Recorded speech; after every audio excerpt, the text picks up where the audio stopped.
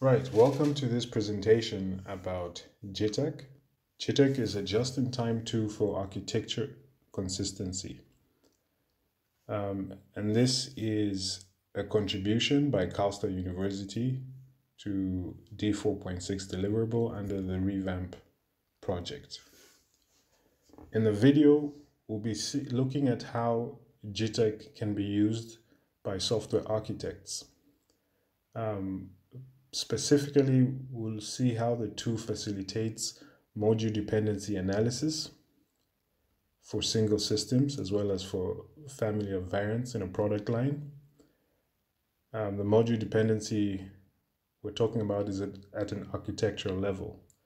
Uh, again, within the architecture, we'll see how the tool can be used to facilitate feature dependency analysis, um, how the tool can be used to view dependency metrics in the architecture, as well as how it can act as a mapping tool. Now, the Jittac contribution to REVaMP is uh, provided by the Squad Research Group. Uh, that's the Software Quality and Digital Modernization uh, Research Group under the Department of Mathematics and Computer Science at Karlstad University. And the group has three main focus areas. Uh, we look at design and evolution of security and privacy critical systems, um, quality assurance techniques, um, like testing for long living systems, but specifically uh, in relation to um, the REVaMP project is the detection of and mitigation against software architecture degradation and other forms of technical debt, both in single systems and a family of variants. So more on the tool. So the two is an Eclipse-based plugin that helps check the consistency between a software's architecture or design and its implementation. So when we have a software architecture as well as its source code base, we can use the tool to check is the actual existing source code or implementation consistent with how the software was in, was designed uh, to be. Um, it was originally developed as an open source tool by Lero, that's the Irish Software Research Center at the University of Limerick. Uh, with the tool, we can detect architecture violations, um, as mentioned before. Uh, and the technique it uses is based on reflexion modeling. And the tool is able to prompt the developer architect to um, act, act accordingly based on these violations. It's also able to give programmers real-time feedback on architecture violations, as we'll see. Um, as a programmer uh, is working on a system, he or she might introduce uh, some core relationship that violates the architecture and they can see this instantly. Thus, it's able to increase a programmer's architecture awareness in a timely manner, which will lessen the likelihood of violations um, as they're introduced into the code base. It must mention though that the Jittac works with Java code base, but there are plans to extend it to work with other languages like C, C++, and more. So how's the tool used? So Squad uses the tool, as we mentioned before, for software architecture degradation research. Um, it uses this for module dependency analysis and feature dependency analysis for single systems and software product lines at an architectural level, as well as to generate software dependency metrics and for software code based architecture mapping. If you're interested in this sort of research, especially as an industry partner, um, you would do well to contact us uh, following the link below and would love to hear from you and how to see how we can help you. So let's have a demo of what the two can actually do. So I have here an Eclipse environment pre-installed with Jittac. And on my left, I have a Java-based project called Apple Defense. Apple Defense is one of many or a family of games called the Apple games. And so to get started, I would want to create in my project a Jittac file, an architecture model. So if you have Jittac installed, you should be able to select that, an architecture model. And say we can call it Apple Defense Architecture. And it creates Apple Defense Architecture.exam file. And so I have a space here uh, where I can build an architecture. So we were in touch with the original developer and he uh, explained to us what the intended architecture was for Apple Defense.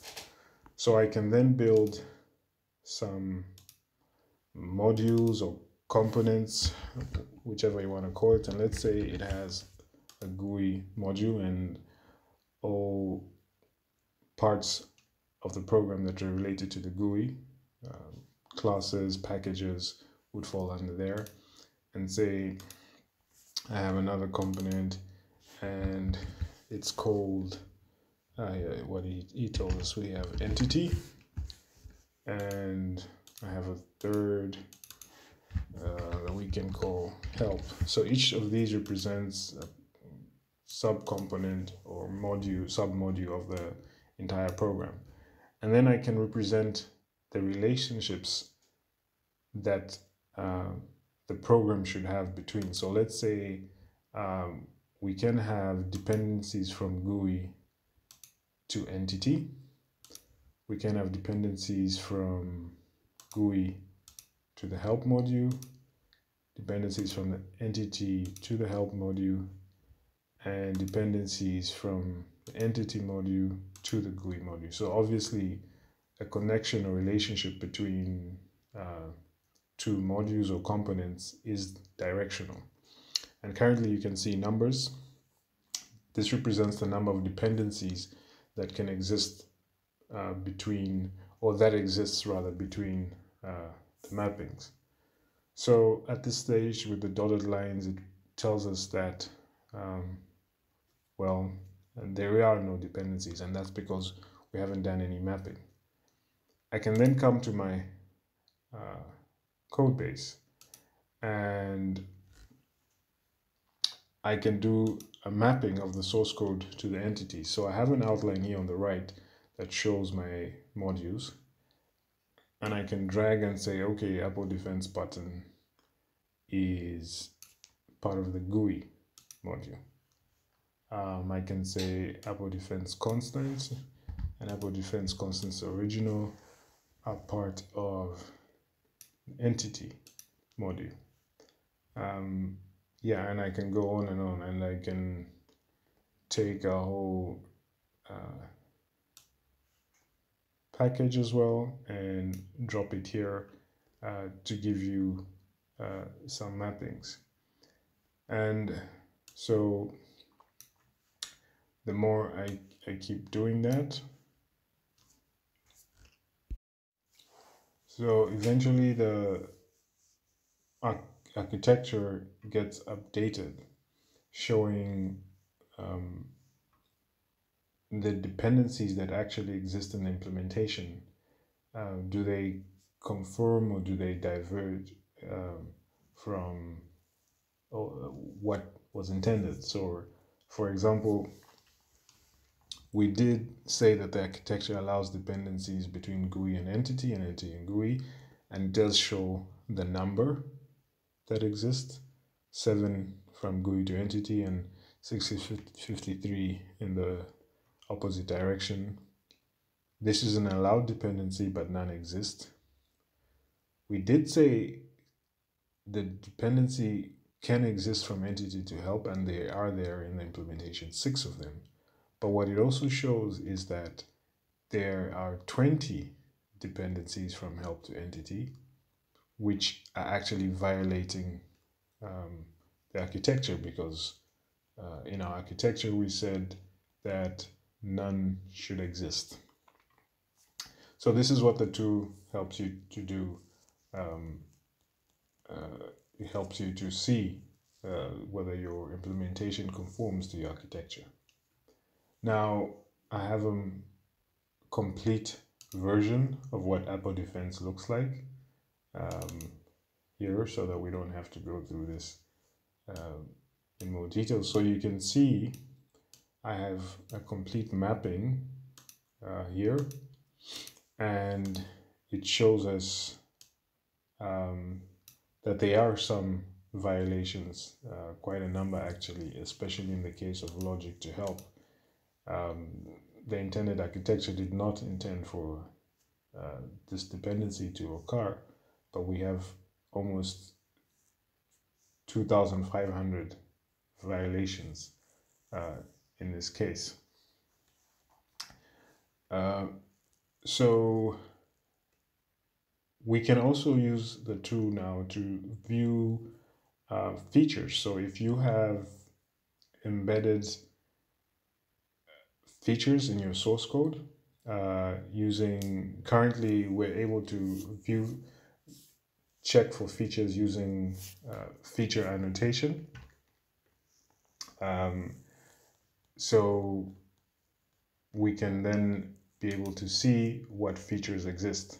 So a quick way to I already have the source code annotated um, and I can order a rebuild so we can see uh, what this looks like.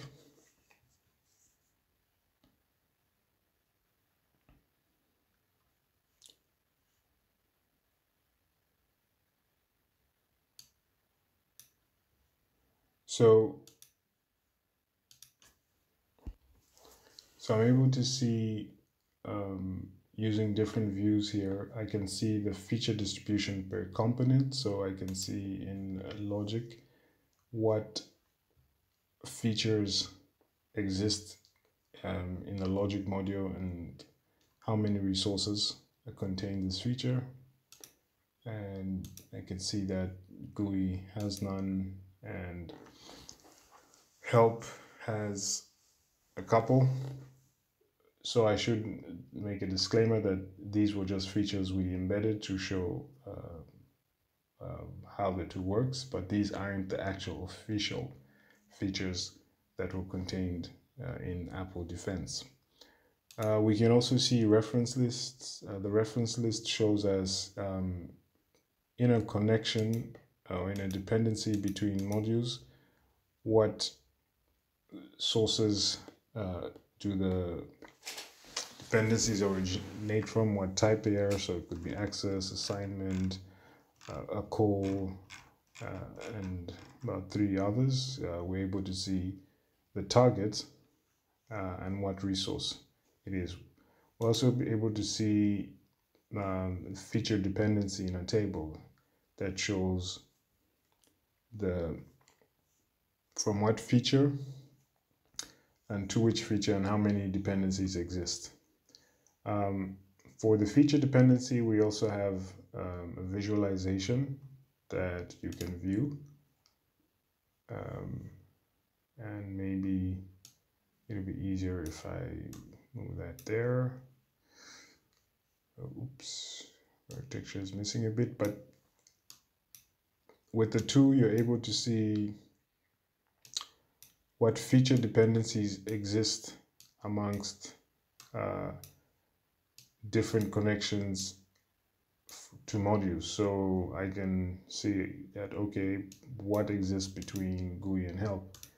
So in this case, I have no feature dependencies. I could select what exists between from help to GUI in that direction. And I can see that actually um, there is a feature dependency. There exists in the end help module a feature called levels and in the entity module a feature called entity properties and there is one dependency between these two features. Uh, let's try between help and logic. So I can see between logic and help that logic has three features, namely game wave, levels, and game options. And help has two features game constant versions and game constants version 1. And we can see how the features in logic and features in help relate in that game wave levels and some of the dependencies in game options go to game constants version 2 and game options goes purely to game constants version 1 and I can also see how many of each of these. So this can help with analysis of your feature dependencies. Um, see if your implementation is violating feature dependencies or is conforming to um, how your feature dependencies apply. And we get some metrics on in terms of numbers on how these occur. So um, this is a very brief video. Um, but it just shows uh, some of uh, the things that Jittac can do.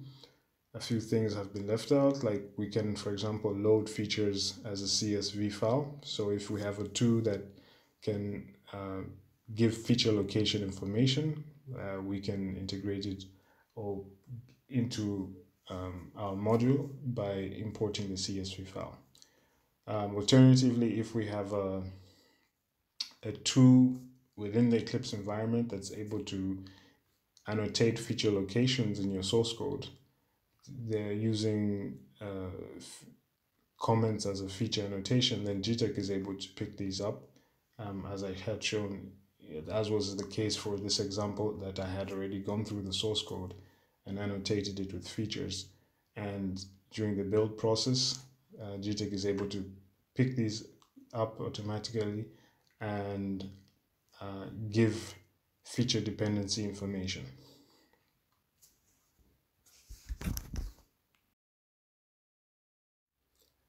In summary, uh, this tool, the Jittac tool can be used uh, for your software architecture degradation and consistency checking, for module feature dependency analysis um, as code-based architecture mapping, or for software dependency metrics generation. And just so if you're interested in uh, this sort of uh, research or industrial partners interested in case studies, uh, please feel free to contact uh, the Squad Research Group at Karlstad University and you can follow the links and use the emails. Thank you for your time and for listening.